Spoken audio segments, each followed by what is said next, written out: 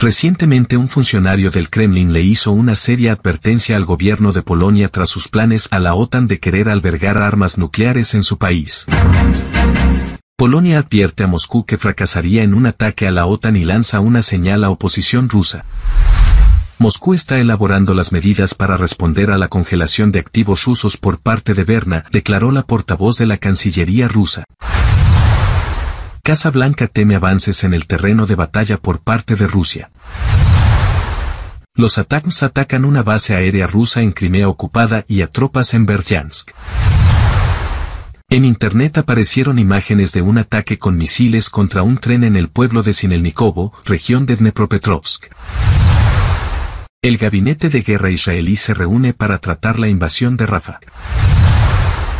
Las autoridades rusas son conscientes de todas las dificultades para la economía, pero las superarán, aseguró este jueves el presidente de Rusia, Vladimir Putin. Aquí está la información más importante de las últimas horas. Recientemente un funcionario del Kremlin le hizo una seria advertencia al gobierno de Polonia tras sus planes a la OTAN de querer albergar armas nucleares en su país. Para Rusia las instalaciones nucleares en territorio polaco se convertirán en un objetivo militar para la federación, según el diario Avia Pro. El viceministro ruso de Asuntos Exteriores, Sergei Ryabkov, expresó su preocupación por el posible despliegue de armas nucleares de la OTAN en territorio polaco. Según él, tales medidas no solo no contribuyen a fortalecer la seguridad de Polonia, sino que también la convierten en un objetivo potencial en caso de conflictos militares.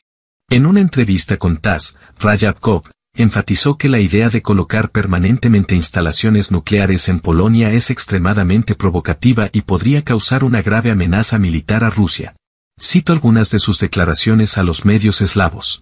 Estos objetos se convertirán inevitablemente en un objetivo militar y nos veremos obligados a tomar medidas para neutralizarlos como parte de nuestra planificación militar.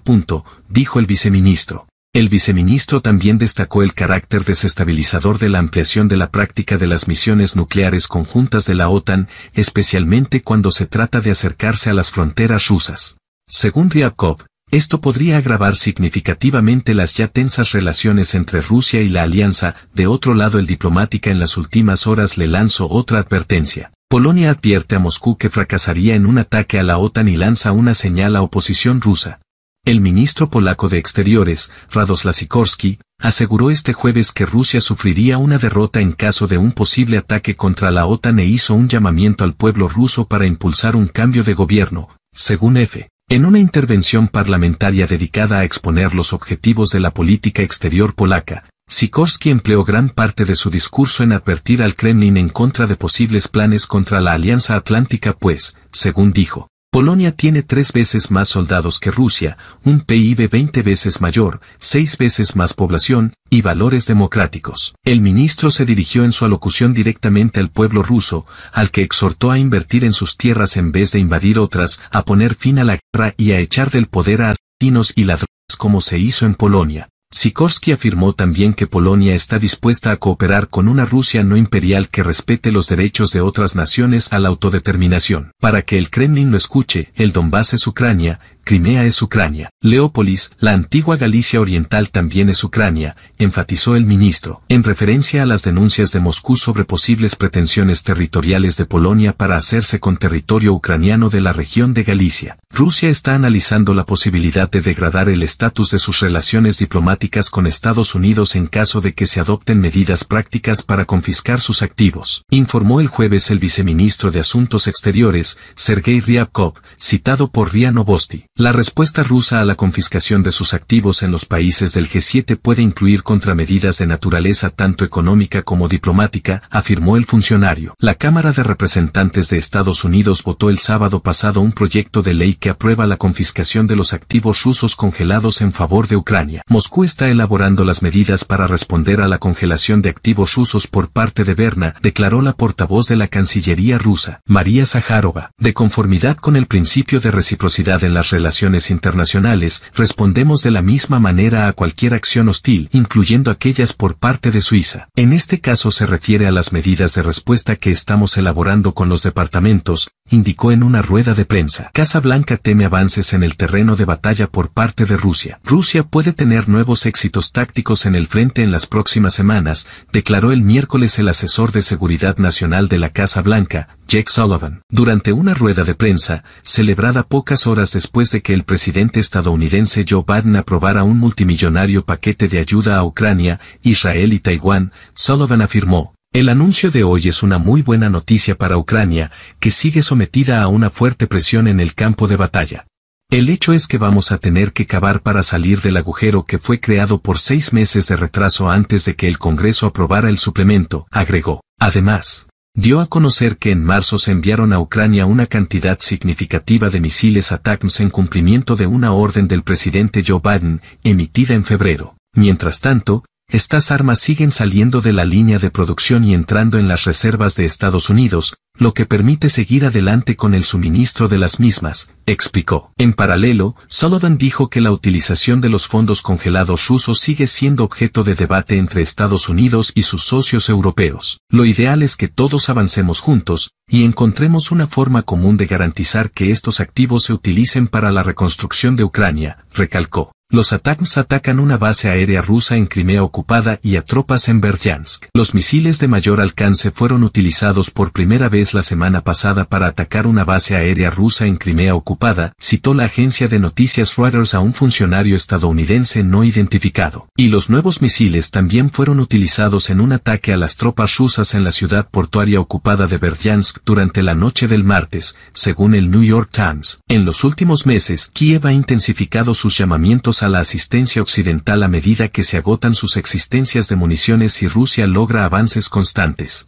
La Casa Blanca revela que Biden envió en secreto a Ucrania misiles ATACMS. El presidente de Estados Unidos, Joe Biden, envió en secreto a Ucrania en marzo misiles de largo alcance ATACMS, que Kiev llevaba meses reclamando y que Washington se había resistido a entregar, según reveló este miércoles Jake Sullivan, el asesor de seguridad nacional de la Casa Blanca, informa EFE. En una rueda de prensa en la Casa Blanca, Sullivan explicó que Biden ordenó en febrero a su equipo proporcionar a Ucrania un número significativo de misiles ATACMS, pero solo para que fueran usados dentro del territorio ucraniano y no contra Rusia. Un mes después, en marzo, esos misiles fueron entregados a Ucrania, reveló Sullivan. Aunque en el momento no se hizo público, esos misiles estaban incluidos en un paquete de ayuda militar valorado en 300 millones de dólares, unos 280 millones de euros, que Biden aprobó el 12 de marzo, detalló el asesor del presidente. Biden decidió aprobar ese envío después de que la inteligencia estadounidense concluyera que Rusia ha usado misiles de largo alcance de otros países, particularmente Corea del Norte, en el campo de batalla y ante los crecientes ataques rusos contra la infraestructura civil ucraniana. El ataque se llevó a cabo contra un tren en el que viajaban efectivos de las Fuerzas Armadas de Ucrania. En Internet aparecieron imágenes de un ataque con misiles contra un tren en el pueblo de Sinelnikovo, región de Dnepropetrovsk. Según los informes, el ataque tuvo lugar el 19 de abril y, según estimaciones preliminares, provocó la destrucción de hasta cinco equipos militares. La medida es parte de una serie de ataques a la infraestructura ferroviaria probablemente destinados a alterar la logística y los movimientos militares. Además de este incidente, esta mañana se llevaron a cabo dos ataques más contra instalaciones ferroviarias en la ciudad de Esmela, región de Cherkasy. Cabe señalar que el objetivo de los ataques también podrían ser los niveles militares de las Fuerzas Armadas de Ucrania, AFU, que transportan refuerzos para las tropas ucranianas. Estos ataques resaltan la importancia estratégica de la red ferroviaria en el conflicto actual, ya que el ferrocarril se utiliza para mover de manera rápida y eficiente equipo y personal militar. Los ataques a estos nodos críticos podrían afectar significativamente la capacidad de las partes para mantener una presencia operativa y realizar operaciones militares en varios frentes. El grupo de batalla ruso oeste tomó el control de mejores posiciones e infligió daños con armas de fuego a las tropas y equipos de cinco brigadas ucranianas, dijo el Ministerio de Defensa ruso en un boletín diario sobre la operación militar especial. A continuación se detallan los detalles de esta y otras acciones de combate ocurridas durante la última jornada, según el boletín. Grupo de Batalla Oeste. Las unidades del Grupo de Batalla Oeste tomaron mejores posiciones y causaron daños con armas de fuego a los efectivos y equipos de las brigadas mecanizadas 14 y 63 de Ucrania, a Brigada Aeromóvil en las zonas de los asentamientos de Estelmakovka en la República Popular de Lugansk, Pluskovka en la región de Kharkov, Torskoye en la República Popular de Donetsk, así como el Servicio Forestal Serebriansky, dijo el ministerio. Los ucranianos en esta zona perdieron hasta 30 militares, dos camionetas, tres obuses M777 de 155 milímetros fabricados en Estados Unidos y tres sistemas de lanzamiento múltiple de cohetes, un sistema Vampire checo, un sistema Grad y un IMARS de fabricación estadounidense. Grupo de Batalla Sur. Las unidades del Grupo de Batalla Sur mejoraron sus posiciones avanzadas e infligieron daños a las formaciones de la 56 Brigada de Infantería Motorizada de Ucrania, las brigadas mecanizadas 28 trigésima y nonagésimo tercera, las brigadas de asalto aerotransportadas septuagésima novena y noventa y dos, las brigadas aerotransportadas cuadragésima sexta y octogésima primera en las zonas de los asentamientos de Belogorovka en la República Popular de Lugansk, y Bela Yagora y Linka, Konstantinovka y Krasnogorovka en la República Popular de Donetsk, dijo él. Ministerio. Frustrado fue el contraataque de un grupo de asalto de la octogésima Brigada Mecanizada Ucraniana en las proximidades del asentamiento de Krasnoye, en la República Popular de Donetsk, el enemigo perdió hasta 500 soldados, dos vehículos de motor, una unidad de artillería autopropulsada Paladín de 155 milímetros y dos obuses M777 de 155 milímetros de fabricación estadounidense, así como cinco estaciones de guerra electrónica de los siguientes tipos, Nota, Anclav, Bukovela D, además de dos depósitos de municiones. China se opone firmemente al despliegue estadounidense de misiles balísticos de medio alcance en la región Asia-Pacífico, declaró el portavoz del Ministerio de Defensa chino, Wu Qian. Nos oponemos firmemente al despliegue de misiles estadounidenses de medio alcance en la región Asia-Pacífico, esta postura es clara y coherente, declaró Wu Qian en una rueda de prensa. El vocero aseguró que el despliegue de estos misiles socava gravemente la paz y la estabilidad regional, por lo que China tomará con medidas decididas. El gabinete de guerra israelí se reúne para tratar la invasión de Rafa. El gabinete de guerra de Israel comenzó este jueves una reunión en Tel Aviv para tratar la esperada invasión terrestre de Rafa, en el sur de la franja de Gaza, dijo David Menzer, uno de los portavoces gubernamentales. El gabinete de guerra se reúne ahora mismo para discutir cómo destruir los últimos vestigios de Hamas en Rafa, dijo el portavoz durante una rueda de prensa. Las autoridades israelíes sostienen que en la localidad se esconden cuatro batallones del grupo palestino y que el ejército debe entrar para asegurar su objetivo de destruir por completo al grupo. Preguntado sobre si el gobierno israelí anunciará hoy la invasión de Rafah, Mencer se limitó a decir que las conversaciones están en curso y seguirán durante la tarde, informa EFE. Las autoridades rusas son conscientes de todas las dificultades para la economía, pero las superarán, aseguró este jueves el presidente de Rusia, Vladimir Putin, en su discurso en el Congreso de la Unión Rusa de Industriales y Empresarios que se celebra en Moscú. La experiencia de la acción conjunta en las difíciles y extraordinarias condiciones de los últimos años nos permite afrontar con éxito las dificultades externas y constituye una base sólida para la aplicación de planes estratégicos, afirmó. En este sentido, el presidente ruso destacó que, pese a los retos sin precedentes a los que Rusia se ha enfrentado en los últimos años, las tendencias positivas de la economía nacional se refuerzan.